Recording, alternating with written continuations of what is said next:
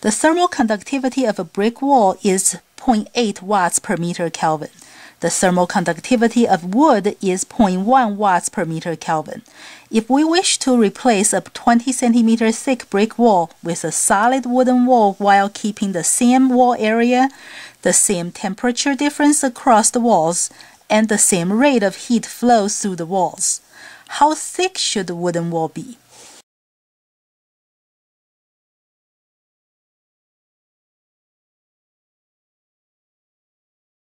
The rate at which heat is transferred through conduction is the thermal conductivity times the contact area times the temperature difference across the material divided by the thickness of the material.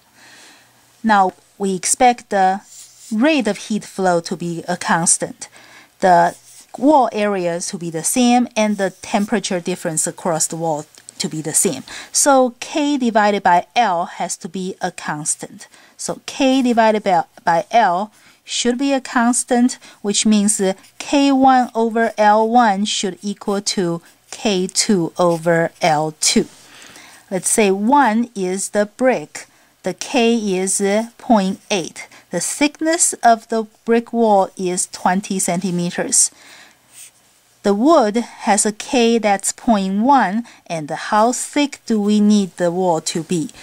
You will find the L2 to be 2.5 centimeters. It's centimeters because we use the centimeters for L1. So when we find L2, that also has to be in centimeters. So the answer is D. A heat engine operates between 500 degrees Celsius and 200 degrees Celsius.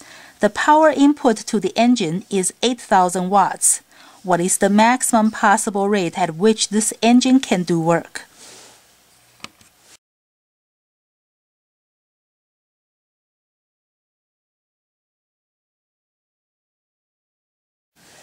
For the maximum possible rate at which this engine does work, we need to look at the maximum possible efficiency for the heat engine, which means ideal efficiency or Carnot efficiency.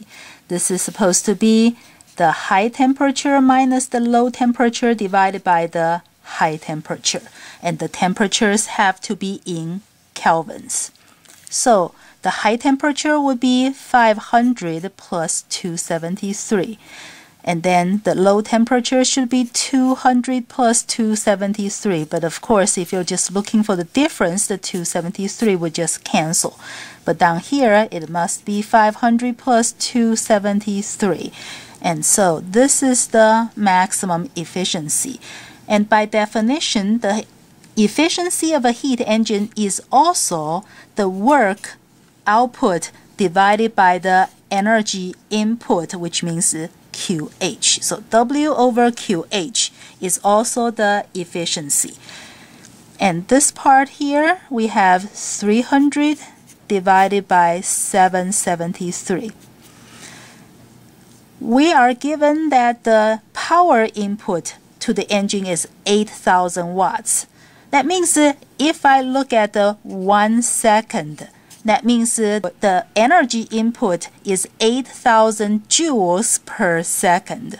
So the QH, the energy input, is 8,000 joules.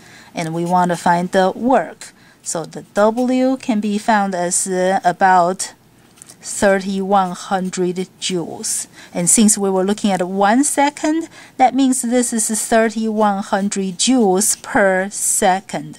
So it's 3100 watts. The answer is B. On the AP exam, we are not allowed to use a calculator for the multiple choice section. Let's see how we can still pick the right answer in this case. When we get to here, we can cross multiply and solve for W. So when we cross multiply, we get 300 times 8,000 equals to 773 times W. Now this is almost 800. So we can divide it by 773 on both sides and this will give us about 10, slightly more than 10. but it's about 10. That means W would equal to 300 times a number that is slightly more than 10, which will give us B.